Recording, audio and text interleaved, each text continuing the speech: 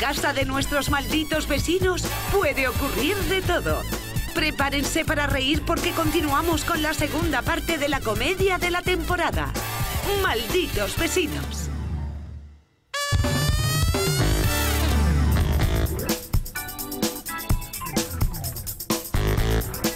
Bueno, bueno, es un piso maravilloso, ¿eh? Hasta con su parada de taxis en la puerta. Una preguntita. Señora, ¿Los muebles se quedarían? Es que son una horterada. los muebles, por supuesto que no. Son de los vecinos, gente de mal vivir. Vamos, son unos desviados, señora. No podido convivir con esa chusma. Mi mujer, que se le antoja cualquier cosa. ¿Y por qué no le compre un periquito a su señora? Un periquito, bastante tengo con estos pájaros que tengo aquí. ¿Decidido? Sí.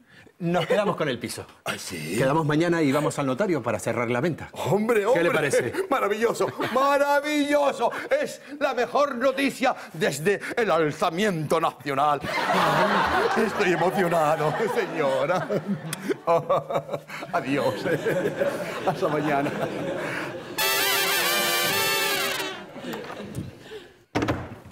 Pero Fela, Fela, cuando el frutero dijo que el pepino entraba por los ojos, no se refería a eso, mujer. Bueno, que esto es para revitalizar la piel.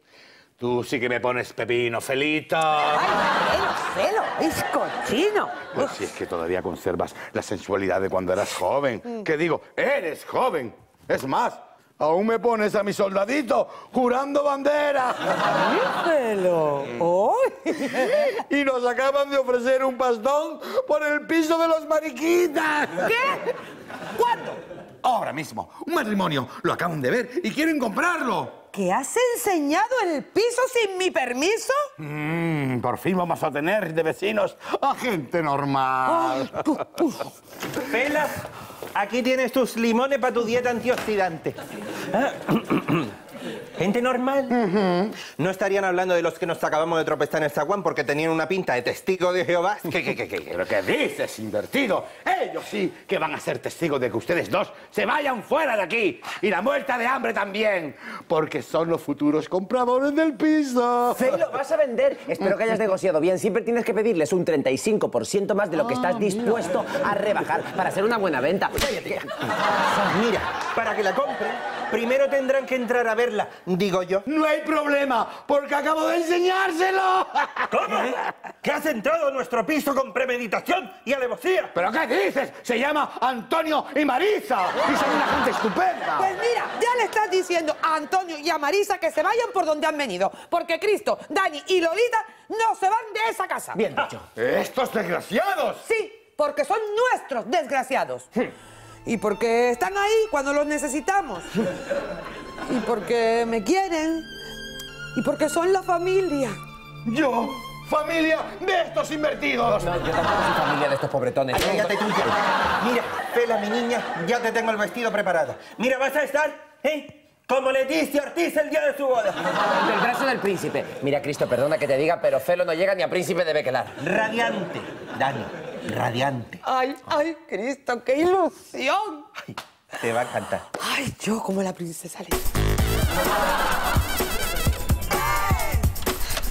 Bueno, a ver dónde estaba el vestido, porque yo ayer lo dejé aquí cuando le dije a Lolita que cogieras tu ropa para poner... ¿Qué pasa, Cristo? Nada, una tontería. ¡Qué tontería, Cristo! No, nada, que... Ay, se entiende que Lolita puso el vestido con su ropa en la lavadora. Ay, Cristo. Ay, no me digas eso, que ese vestido lleva 20 años sin lavarse. Como tú, Felo. Pero bueno, Cristo, dame el vestido. Ay, Fela, mejor que no. Cristo, que me lo des, ¿eh? Fela, de verdad. Cristo, dame ese vestido.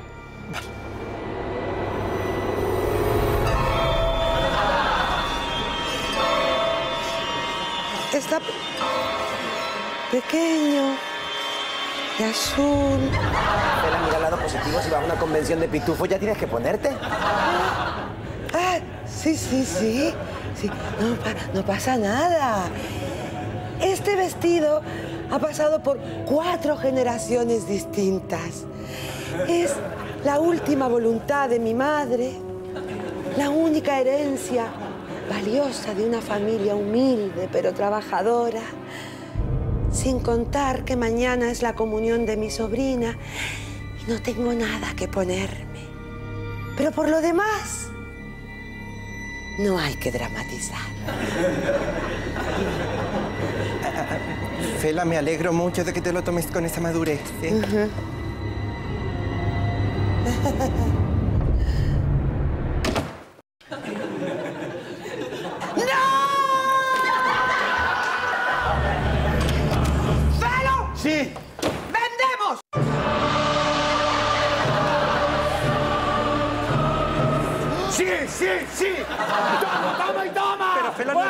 familia. Sí, como la Thyssen y Borja. Esto pasa en las mejores familias. Y ella no levanta cabeza desde entonces, ¿eh? Mm, No, no, no, no. Mañana quiero todo esto recogido. Tienen una semana para salir volando de aquí como dos pajaritos. Pío, pío, pío, pío, pío, pío, pío. Dani, que nos quedamos en la calle. A ver, a ver, no dramaticemos, ¿eh? Que el mercado inmobiliario es muy fluido y con la crisis que hay seguro que conseguimos alguna ganga, algún ático o un loft. A ver, Dani, si te enteras que con nuestro sueldo lo único que nos podemos de permitir es una plaza de aparcamiento y que eres como la familia real. Bueno, como la familia real tampoco. Soy de buena familia, pero... Que no, Dani, que vives a costa de los demás. Pues tenemos que hacer algo, porque yo puedo vivir en esta chabola, pero en la calle no. ¿Se puede saber a qué viene tanto escándalo? Que nos quedamos sin casa, Lolita. Y yo sin curro como no llegué ya. Tengo otro turno. Ay, no doblaba tanto desde que tenía ese novio contorsionista. Pues sí que tienes mal aspecto, sí. Lolita, cariño, si es que pareces un fantasma. ¿Un fantasma?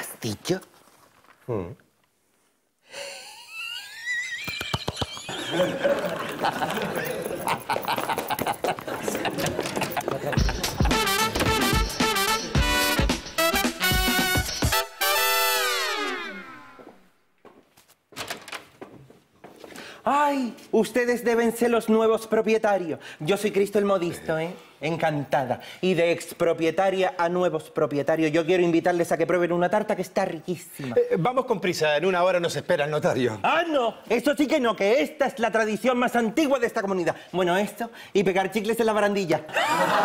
Que es una guarrada. Bueno, venga, pasen a mi casa. Venga, venga, venga, que está riquísima. Dani, tenemos visita. Son los nuevos propietarios. Hola. Vaya, si parecen gente con clase y alcurnia como yo.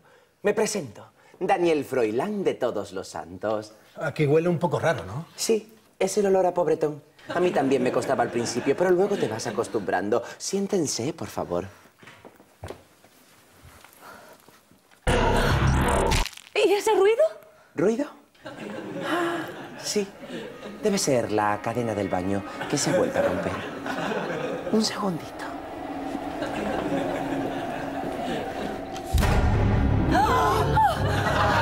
¿Qué pasa? Esa chica. ¿Qué chica? Yo no veo ninguna chica. Dani, te ayudo con la cadena. ¡Fuera de aquí! ¡Fuera! ¿Qué pasa? ¿Problemas conyugales? ¿Qué, qué? No es. ¿Esa quién? Porque aquí no hay nadie más que nosotros. Nosotros ya nos íbamos. ¿Verdad, cariño? Pero si no han probado la tarta. Es que somos diabéticos. Adiós. Esperen un momento. Un momento, esperen. Yo sé por qué se van. Ustedes han visto a una chica joven, ¿verdad? Y no será la chica que aparece en esta foto. Usted la ve también, ¿verdad? No, nosotros solo sentimos su presencia. Ella es Maruquita. Es la hija de Felo y Fela. Pero, pero es, está... Muerta. La pobre estiró la pata en esta casa por culpa de un cerdo agridulce. Por eso nosotros nunca pedimos comida china. No, un cerdo que la dejó sola con un bombo. La pobre no superó el trauma y... Desde entonces solo se aparece ante gente con la que quiere convivir. Así que siéntanse afortunados, porque a partir de ahora les perseguirá siempre. Cuando vayan al baño, cuando vayan a la cocina o cuando estén echando un kiki.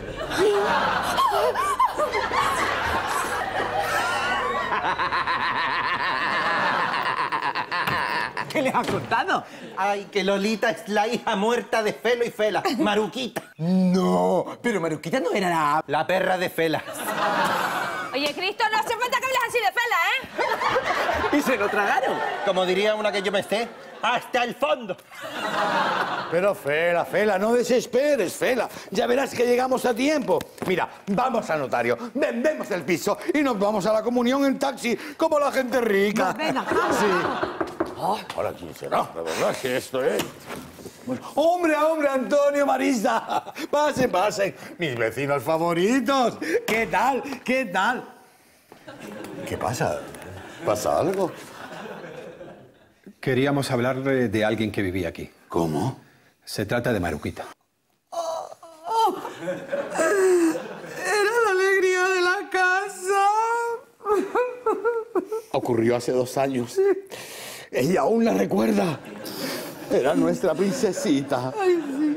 Todavía me parece sentirla cuando se metía en la cama y se acurrucaba a mi lado. Oh, a mí, a mí me gustaba echarle de comer en el suelo para que lo cogiera con la boca. ¿Cómo se le ocurre? ¿Cómo? ¿Qué? Bueno, bueno, ya, ya sé que la teníamos muy mimada, pero por la noche la encerrábamos en el baño, ¿eh? Para que no dejara todo perdido, ¿verdad? Vámonos, cariño. Creí que estábamos hablando con gente decente.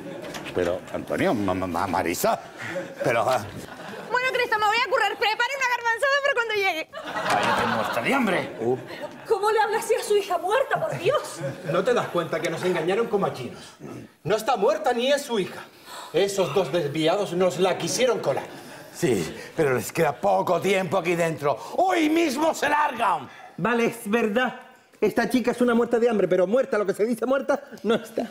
Ay, Felo, pero es que no se nos ocurrió otra cosa. Es que no tenemos otro sitio donde ir. Y tampoco se nos ocurre otro sitio mejor para vivir que este. Hombre, a mí se me ocurre el Palace, el Rich, el bungalow de papá ni vista. Uy, ¿qué pasa? Vamos al notario entonces. No, Felo, no. Ahora nos vamos a la comunión, porque Lolita, Cristo y Dani se quedan aquí, a vivir. Bastante tengo yo contigo como para aguantar a otro vecino cafre.